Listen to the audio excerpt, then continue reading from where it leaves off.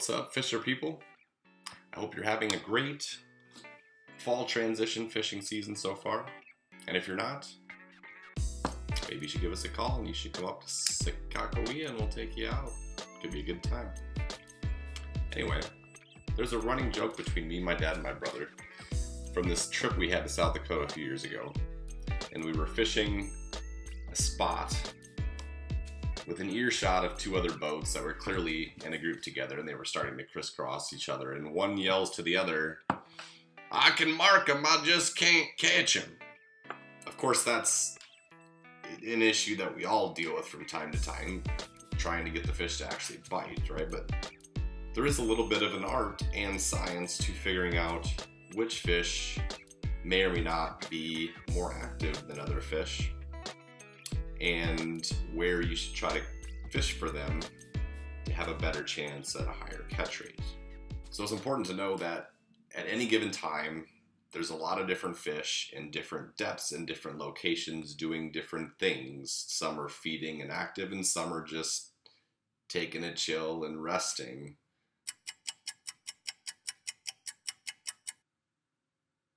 So just because you found marks doesn't mean you found the fish. Like you found some fish, but they might not be interested. And you can always get, you know, one out of 30 or 40 or 50 inactive fish to bite potentially just by being super stubborn with them and putting live bait in their face all day long or trying to get a reaction strike from something like a jigging Rap or a crankbait. But that pales in comparison to finding the active fish where you might be able to get one out of three or one out of two or almost all of them to bite when things are really good.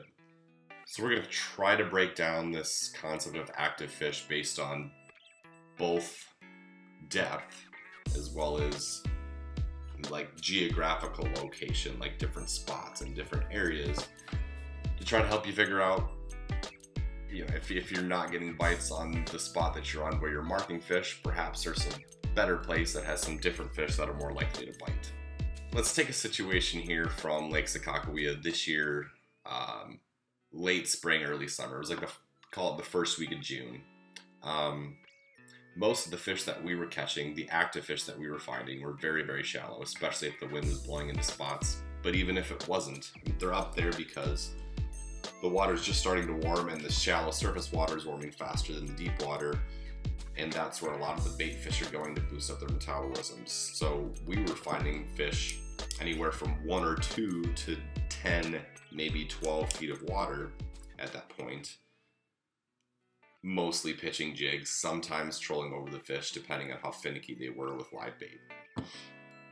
At the same time, though, you could mark a lot of fish in 15 to 20 to 22 feet of water and I, I, remember driving by a lot of different boats during this time period or talking to people at the fish cleaning station afterwards saying I, I could mark fish all over the place in 20 feet of water, but we only got one fish today or two fish today. They were finding the inactive fish that were in their resting locations. They were not feeding down there.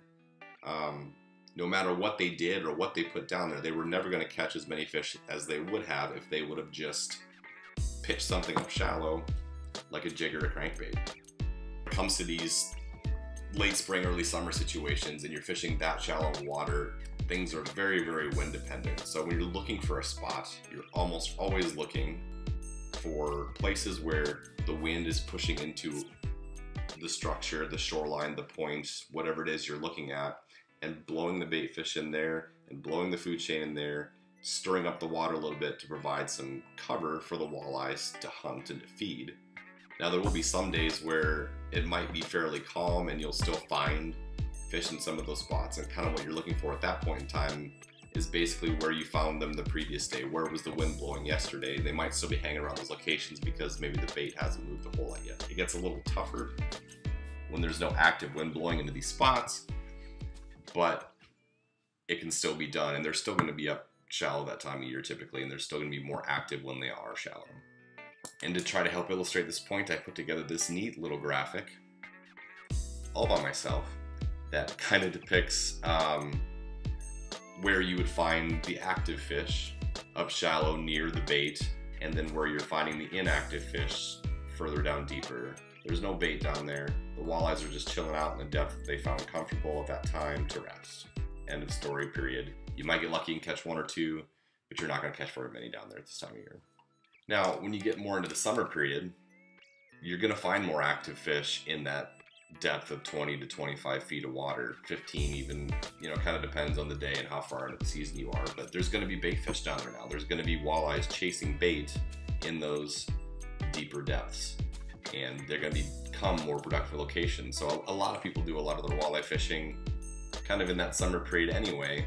So they're very used to, you know, 18 to 22 to 25 feet of water. That's kind of their walleye fishing depth. And if they're not catching them down there, then walleye fishing isn't good, you know, from their perspective. But they're probably just in the wrong spots and in the wrong depths. Um, that said, even in the summertime and even in the, the fall transition and the fall period, like all throughout the year, there's a chance you're going to get walleyes up shallow near shorelines and points and structure like that if the wind is blowing. If you get wind blowing into a spot, especially for a long period of time consistently for a day or two or more, three or four especially, and in the early morning time is even better, or the evening time, you will get fish coming up onto those shallow shoreline structures to feed on fish, even if a lot of them are down deep. So anytime that you can find walleyes in less than 10 feet, if you can get a bait in front of their face, you got a pretty good chance at catching them. You're not going to find as many of them there in the later seasons of the year as you would early, early on. But if you do find them, they're probably going to be very active. Now, one of the trickier time periods is like right now, as I'm talking, as I'm filming this video, which is the fall transition period. So once the, the water temperatures have reached kind of their summer peak, and then you start to first get some cold weather and the temps crash pretty hard. And then in this case, we also had a massive, massive cold front on top of it. Like we're talking freeze warnings overnight kind of stuff. So the water temperature dropped from 78 to 65 pretty quickly. And then we had two nights in a row of freezing. And the fish did not like that unstable environment of the shallower part of the water column. And they went super, super, super deep. I mean, we're talking out to 50 and 60 feet. And there's probably some walleyes even deeper than that they're just harder to see and harder to graph. So at this point in time, the situation was a little more complicated, as you can see from this graphic here. So again, you might still have the odd fish up there in three, four, five feet of water when the wind's blowing into a shoreline early in the morning, something like that. But the bulk of the fish were down in 35 plus, 35 to 55 foot that were feeding.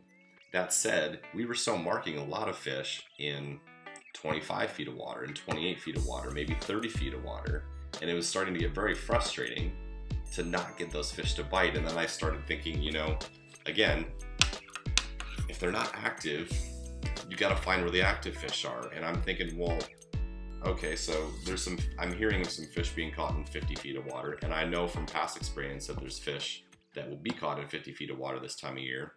But I'm seeing so many of them in 25, and you would think the shallower fish are more likely to bite. Right? Wrong. Like in this case, it was just dead wrong because the bait wasn't there.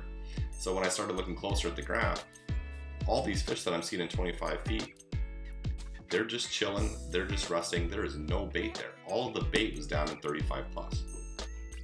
So when a walleye is in its resting state. It's just finding a depth that it likes, that's comfortable for it to chill out, hang out, and rest, recuperate. When it wants to go feed, then it's either going to go shallower or deeper, wherever it has to go to find the bait, even if it's not its ideal environment or temperature of water or oxygen levels. It's trying to find fish, and that's where the bait was. It was very, very, very deep. And as you can see by this screenshot here of my graph, that's a great example of a big cloud of bait with a fish mark underneath it, and that's an active fish. If you see a fish mark right beneath or in a bait cloud, you got a really good chance at catching that fish. I don't care what the depth is, they're there to feed. That's a good scenario for you. That's something you want to look for.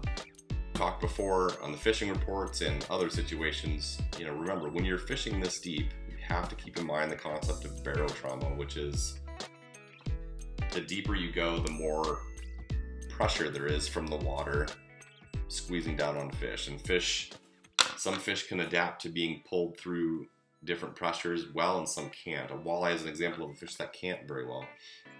So if you catch a fish in 50 feet of water and you pull it up really quickly, it's not going to adapt kind of the way a scuba diver gets the bends, that kind of thing, right? Um, the pressure change is going to damage that fish and probably kill it. So when you're fishing that deep, you have to have a plan of I'm out here because I want to catch and keep fish.